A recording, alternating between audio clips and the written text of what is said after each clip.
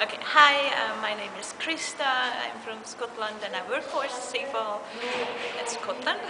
And my green dream is that um, people are very much more motivated to learn more efficiently and that everybody is interested in education and that everybody will learn more about sustainability and that all people use the knowledge for developing our planet sustainably because I find this very important. Thank you.